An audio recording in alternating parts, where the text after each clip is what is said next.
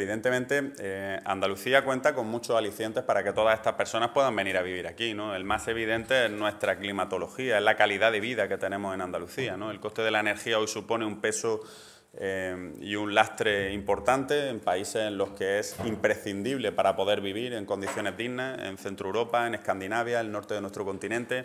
Eh, aquí en Andalucía esa realidad es bastante diferente. ¿no? Y a esas condiciones que tenemos dadas, eh, la climatología, el entorno, la calidad de vida, la cultura, la oferta turística, el gobierno andaluz eh, pone de su parte con una fiscalidad baja que hace de este territorio atractivo ¿no? para que todas esas personas de alto nivel adquisitivo pues vengan a pasar largas temporadas, a fijar su residencia y por lo tanto, no se nos olvide, a pagar impuestos en Andalucía, claro que sí.